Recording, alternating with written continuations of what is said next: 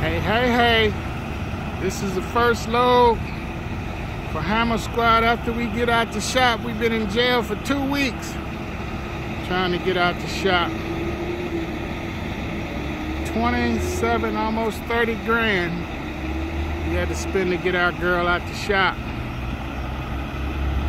2017 Peterbilt 579 for sale for 125,000,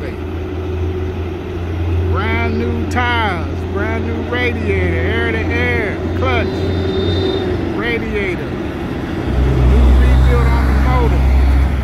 We got it hooked up for you. Can't have my trailer.